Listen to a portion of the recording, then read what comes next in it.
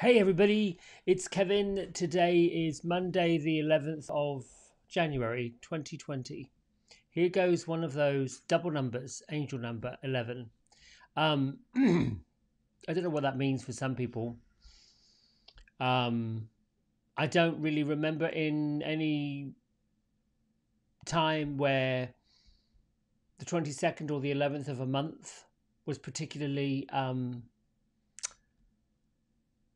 dramatic. uh, I'm trying to think back. 111. Oh, well, yes, here we go. 9 11, there was that. Um, 111, 2011, there was that. Numbers. They're numbers, right? I hope you had a good weekend. Um, if you were off this weekend, uh, I.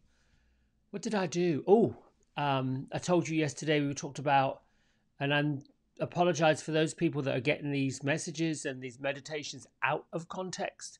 I do them daily, have done since the end of August. Um, and I realize that some of them perhaps are seen out of date, out of sequence, which is why I start with who I am and what day it is, so that um, folks get an idea of, oh, here we go, this is what we're doing. So, um, what did I do yesterday? I got creative. I um, said I had made a blanket several years ago and forgot how to do it, and then found a pattern and found a thing to do last week, and then remembered it.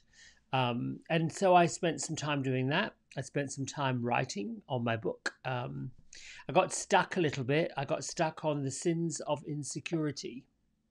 Um, and I was thinking this morning, that's a lot to say about something that most people experience um, when it began, what we do, what we make it mean, all of those things. Um, and I was trying to put it into a framework that if I were reading this, if I were reading it, do I want to go on and on and on, driveling on and on and on about, you know, when it happened, what happened, how it happened? Um, because with this particular book, I find it cathartic because I have talked about how I have conversations with dead people, um, but they're really not. Well, they died. They're people I knew.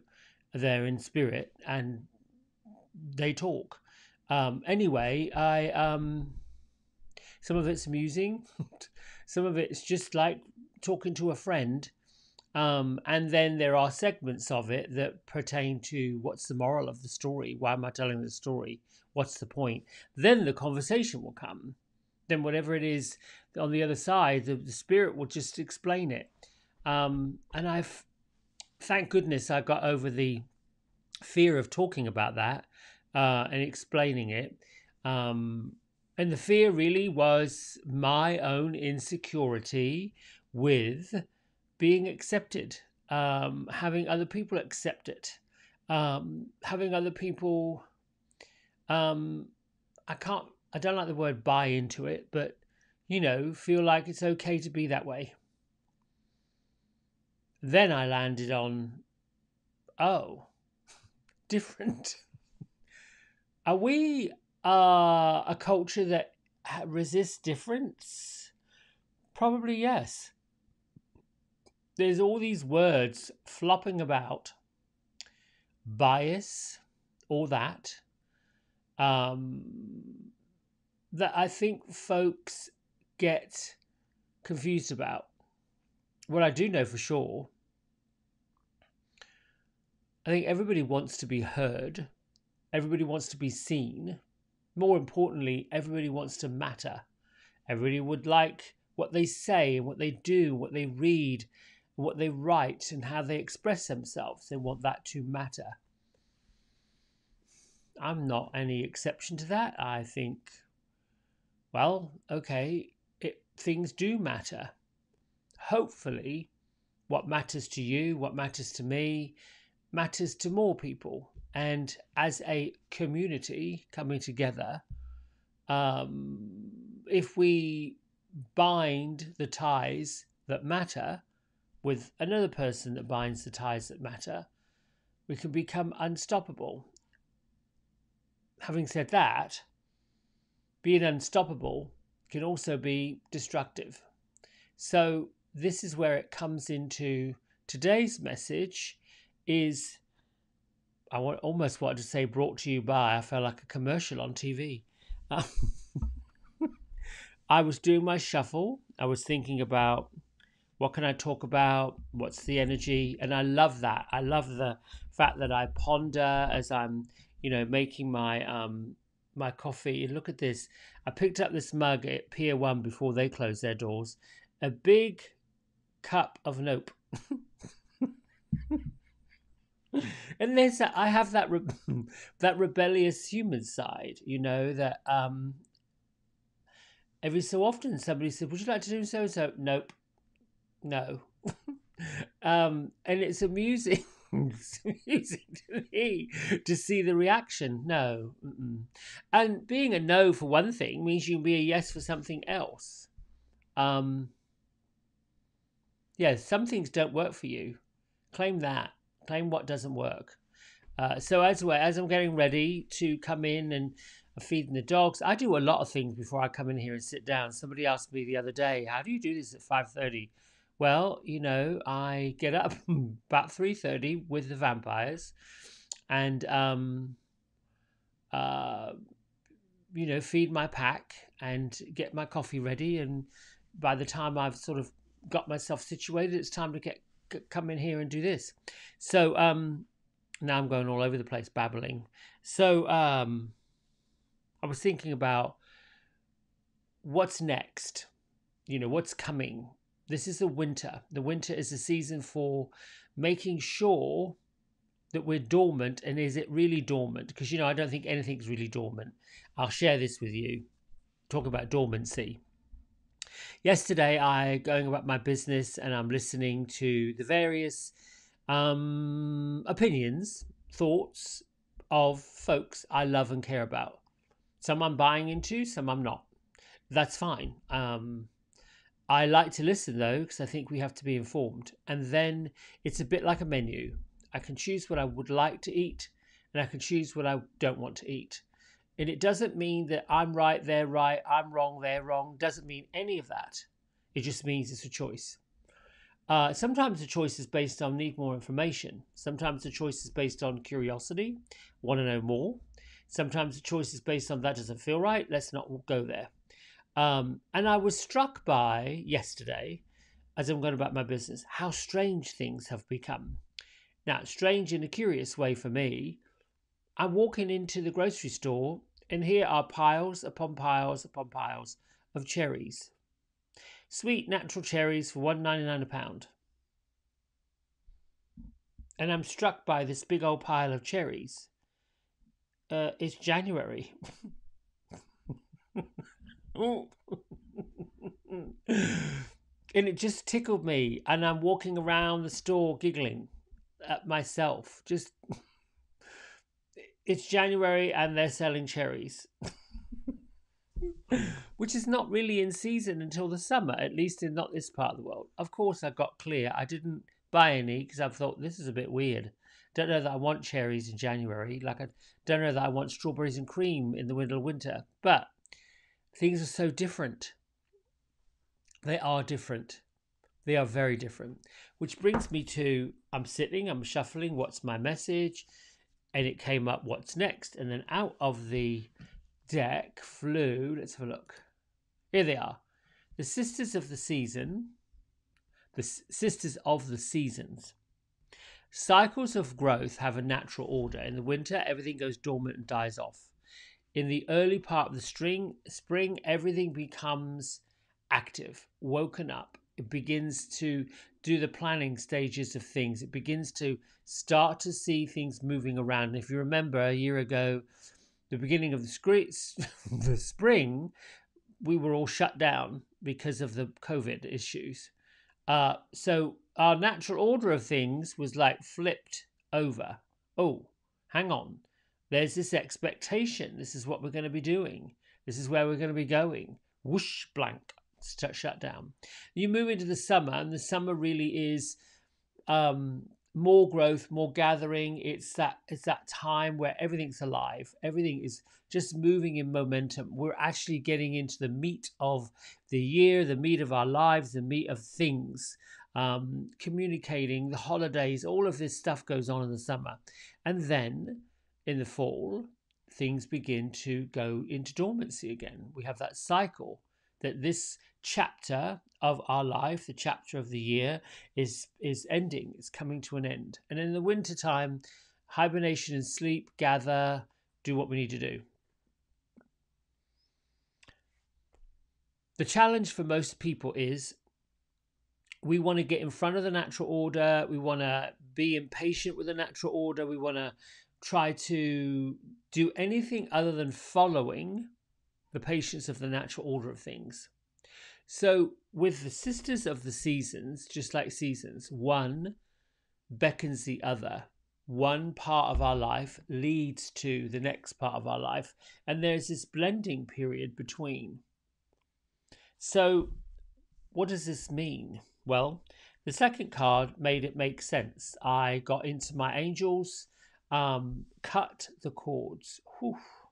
So this is where it became really uh, clear. At the beginning of when I'm meditating and I get into a space every single morning, I usually offer up my own personal um, devotion to angels, spirits, higher ones, the the um I just bring that in because I want to be feeling like this is a, a new day and I'm I'm building it. I'm manifesting something, but I've got to build it from the ground, which is why we start with our feet flat on the floor and do a scan of the body. You have to be present to where you are and what you're going, where you're going, and know that whatever went before is done. It's finished. It's gone. So I start with um, a prayer that I found on these cards, these angel oracle cards, which is what Kyle Gray puts on every one of his decks. Um, and I used it because I think it works. Thank you, angels, for reminding me of your presence and for um, revealing to me what I need to know. I am willing to listen and open to receive. With that comes this request cut the ties that bind me to people, places, situations, stories, and anything that is not for my highest good.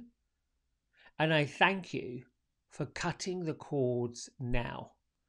And that basically means that you are clear of anything that is not lined up with what your divine order is, what your divine purpose is.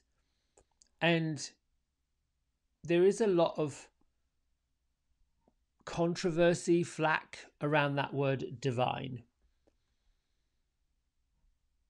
You know, when I was little, I used to see it in movies, old Hollywood movies, and very bougie women would be seen using that word. Oh, it's divine. Oh, darling, that's just divine. Absolutely fabulous. Used it.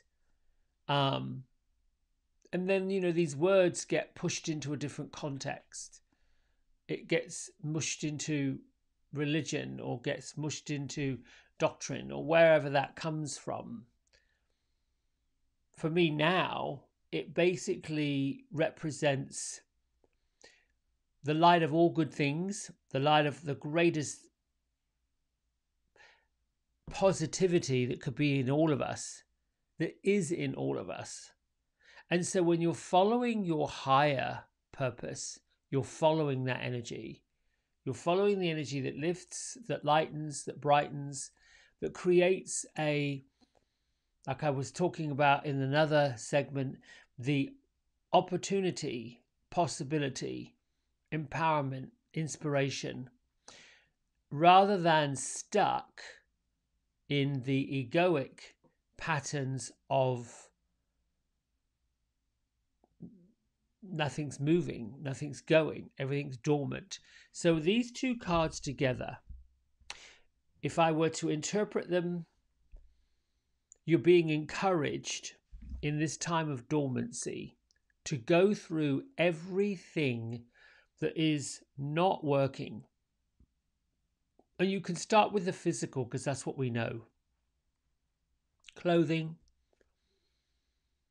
invoices, papers, receipts, old recipes, maybe photos, books, um, anything that you have that's tangible.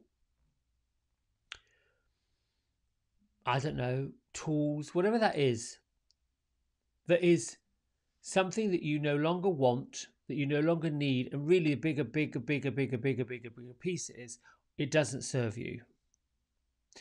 When we practice holding on, stuffing things in drawers, cramming clothes in closets, we're piling things up. And when you pile things up, there's a weight that gets attached to it. So if you think about the fact that if the leaves didn't fall off the trees, there wouldn't be a bud to start the new cycle of blossom in the spring. If the fruit didn't leave the tree, get picked for people to eat, they just stuck on there, the new fruit can't come. So, unless you are in the cycle of cutting the cords, cutting the ties, cutting and, and, and purging on a regular basis, nothing new, nothing possible, nothing open, nothing positive, no opportunity has room to grow and to be where it is. Now, how do you explain then all of this I'm going to call it cultural indifference. Indifference meaning difference of opinion, difference of thoughts, different belief systems. They're different. They're different. I use an analogy, you know, when it comes to politics in this part of the world, in the US, every four years you get choose between one fast food place and another fast food place. What if you don't want fast food? Neither one is right, neither one is wrong, but you're being asked to pick one. Well, I don't want to eat that. Any of it. None of it works. And that's where I believe the majority is. And I'm not getting political, please. Personally, on my personal thought about that, not sure anybody's winning, really. I don't know what winning is. It's just this big cesspool of ego. Done. Um, uh, that's my personal thought anyway. I don't know how any of it moves anyone forward. I don't know how anyone finds sunshine in that. Um, so, in saying this, start with the tangible, the physical, the um, parts of your physical life that don't serve you, and use it as a time to say, oh, I get to let go of it. But the more important thing is look at where you're holding on Look at where things are binding you, are getting you stuck. And how could you cut the cord? All right. So then there's a fear that pops up behind it. You know, when we attach ourselves to things, and I'm using things as a physical because that's what we start with things we know, things we see, um, like coffee, right? Do I want to cut the ties that bind me to my morning pot of coffee? No. Why? Well, because it gives me energy. I like it. I enjoy it. I enjoy the taste of it. Always have. There was a time where I stopped drinking coffee for six months. I didn't miss it. It was just something I tried and I did. And then I did it again, picked it up again, and thought, well, this is actually okay. Now, what did I do when I stopped drinking coffee? Well, I still carried on drinking tea. This is what it is. I enjoyed it. I liked it. Um, by giving up things that I was attached to, things that bind me, I understood there was freedom in something new, a new choice. Um, the attachment that somehow I was doing something wrong. Well, no, it's not wrong. I'm making it mean it's wrong, but it's not wrong. The other part that sneaks in that's a little bit naughty um, and my analogy is coming that's talking about squeaky. You know, you got something that squeaks and you're trying to find the squeak to give it some oil. That's the ego, the squeak. It, it creeps in every so often. It, it's the one part of ourselves that won't, doesn't really want us to move forward. Because really, cutting cords, binding, saying goodbye, moving forward, doing all this sounds lovely. But the idea of doing it is a little bit alarming. It's alarming. It's why many of us take our time to move forward. Which brings me to the Sisters of the Season. There's a time and a place for the movement to happen. Everything is in divine order and will it will most certainly magically happen that way. Just as in the spring things will grow. In the summer things will flourish. In the fall things begin to go dormant, die down, back off, decay. In the winter, it's all asleep. Those seasons magically roll into the next. Each thing magically rolls into the next thing. Although we are now at a time where we're noticing when it doesn't. We're only noticing it when it doesn't is because we never noticed it before. We didn't pay attention before. Now we're paying attention. Now we're looking at, oh, this is, oh, I wasn't expecting it. The point I'm making with all of that is to say, cut the cords with the expectation, cut the cords with things that you believe is going to happen and doesn't happen, and be okay with what does happen because what does happen is supposed to happen. Now, that's hard pill to swallow when there's so much death, destruction, anarchy. Well, you can't get into organization. Something organized can't organize the organized. And that sounds weird. If something is organized, it doesn't need to be organized again. Here's what happens. Imagine you go somewhere and it's all nice and order and everything's tidy and it's all in its place and things are rolling along but to something or someone else it isn't. And somebody tries to organize it again. Have you ever had the experience where one person tries to organize something that's already organized? What do you create? A mess. Creates a mess. So, the whole point with that is if you don't have a mess, you've got nothing to organize. You've got nothing to line up. You've got nothing to come out of it. You've got nothing positive to move forward with it. So, those of us that are already flying at 30, 40, 50,000 feet above the storm clouds of debauchery and this rumbling craziness, just keep flying high. Just keep following your heart, opening your heart up.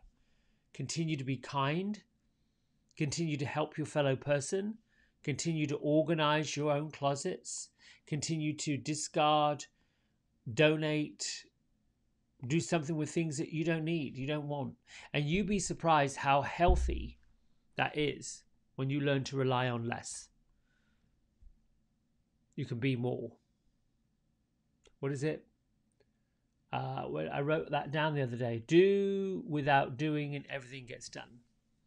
So just organize yourself. Cut the ties that bind you to things that are holding you back.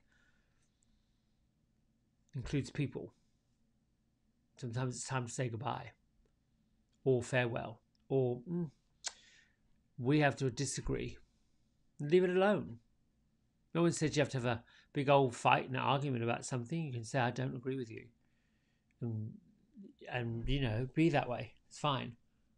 If they don't like you for not agreeing with them, well, then there you know. Oh. I'm going to start a problem, I can tell. All right, it is time to meditate. I got on that tangent and ran off with it. There you go. All right, feet flat on the floor, people.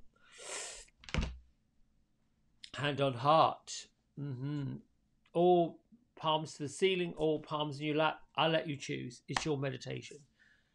Hmm. Big breath in. Let go. Another breath in. Release out. Fill up and make room on the third breath in.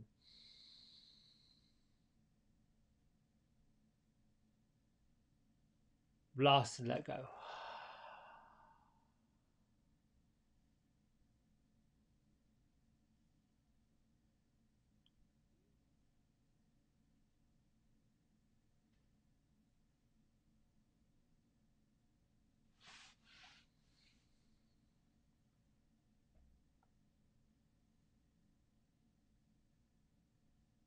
And start by bringing your mind to your physical body.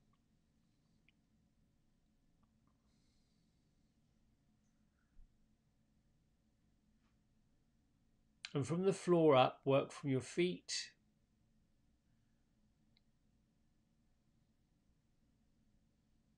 Just bring your thoughts in your mind to your knees and your hips and your pelvis.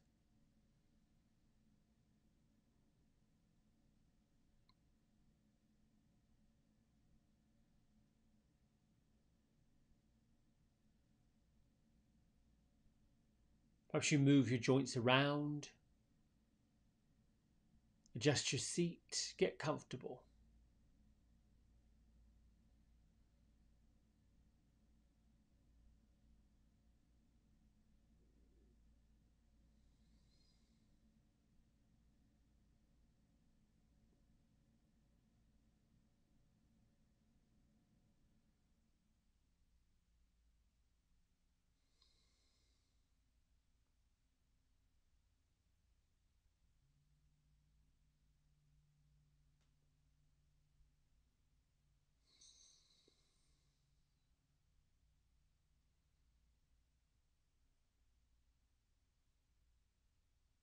Just continue with the rise and fall of your chest as you breathe in release out.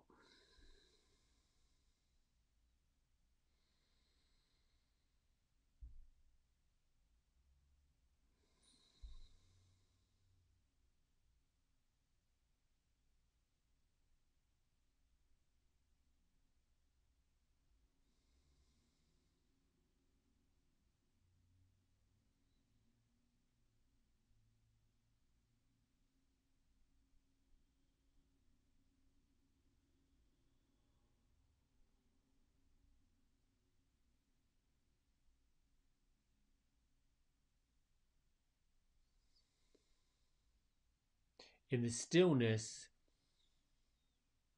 of thought. Simply being.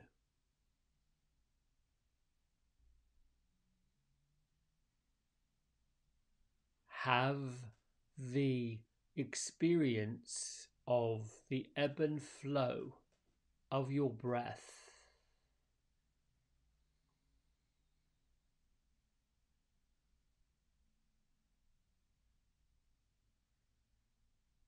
Deepen your inhale and your connection to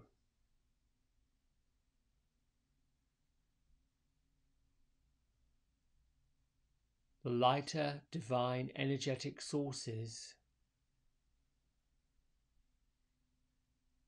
that vibrate and are connected with goodness.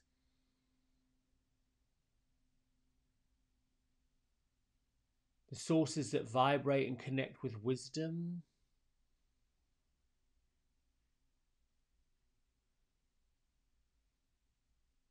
The sources and energy that vibrate with lightness.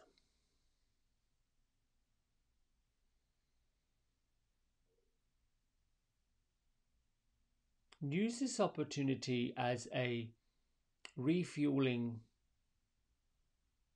of spirit, refueling of your purpose.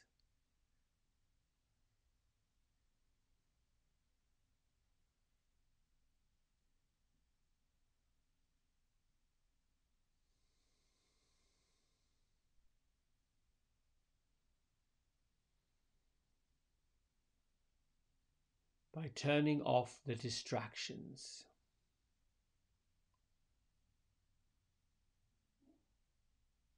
By being clear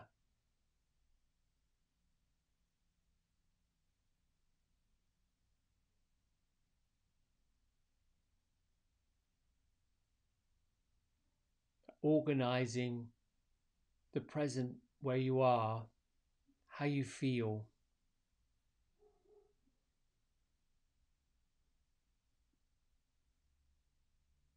By disrupting the mundane, the business as usual, the expectations, by disrupting all of those patterns.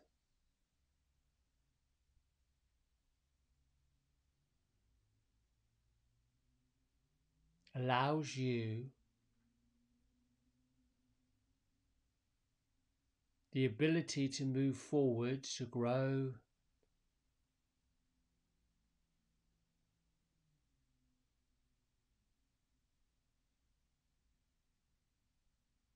to have the experience of something different.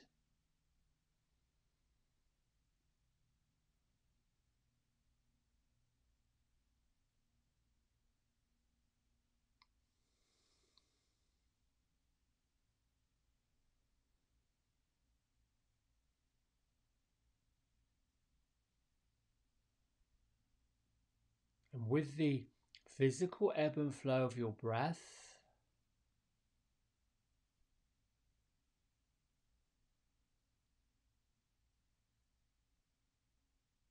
and the willingness to be open to listen and receive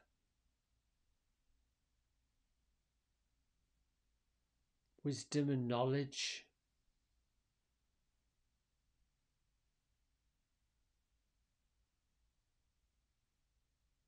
And clarity.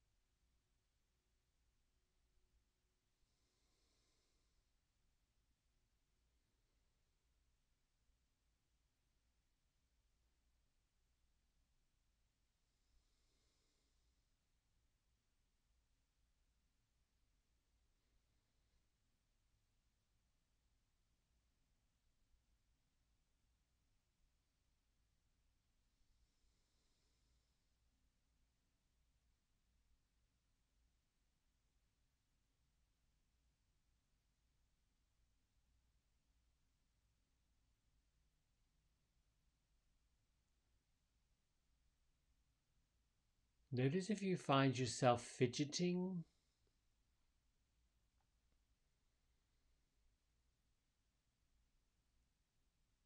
Deepen the breath.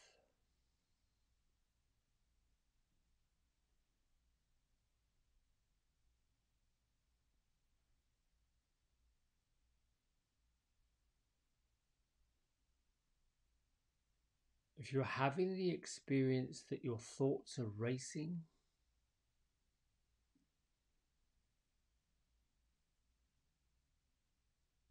Make a choice to think about where your hands are, your feet are.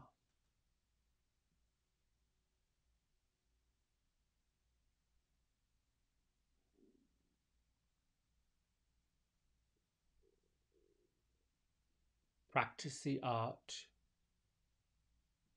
Master the skill of returning to the present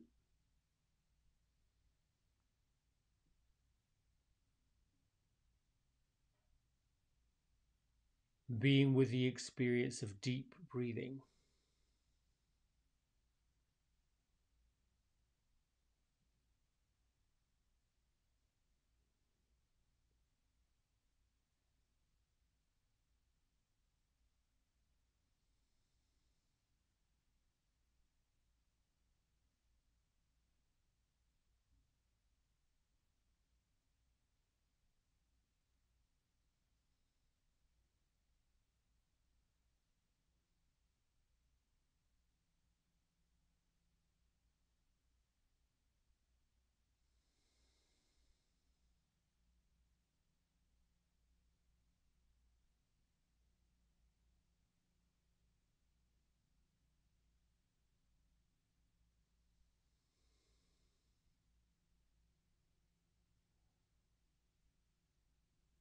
Your mind and physical physical body totally relaxed. totally at peace.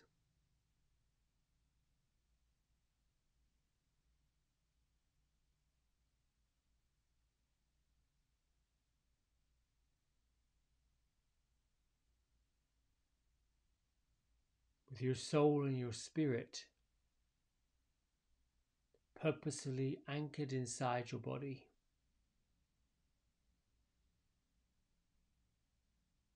Everything is good.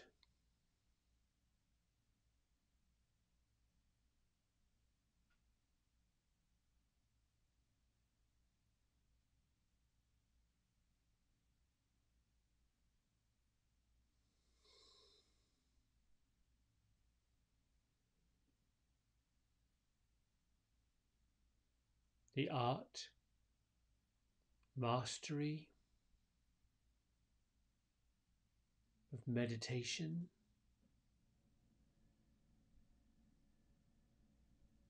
requires commitment and practice.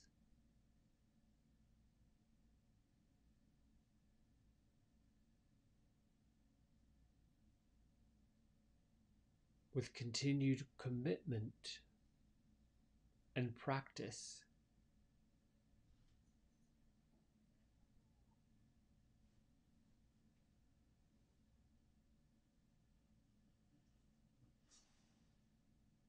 Comes the re-establishment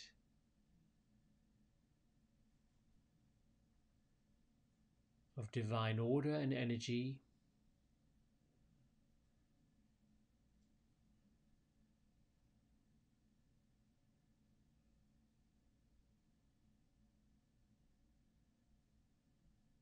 that is part of who you are.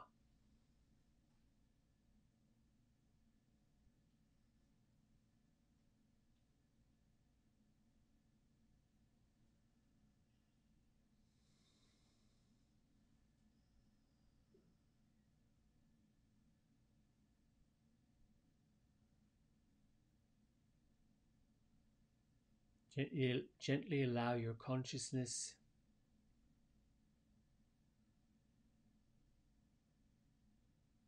to be aware of your physical surroundings, your seat, your feet, your room.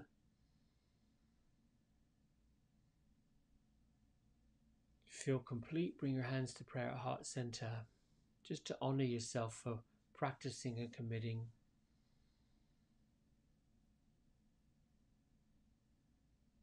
Lift your prayer to your third eye center. Acknowledge the divine and everybody else acknowledge the divine everywhere as we bow and say namaste. Hmm. That's it. Simplify everything. Look for the simple way to do what you do and be who you are. All right, my friends, I love you. Thanks so much. Have a great, great. Um, I forgot to read Journey from the Heart. Mm, I need to read two tomorrow, then, don't I? I need to read the 11th and the 12th. I'll do it. Right, lots of love. Bye.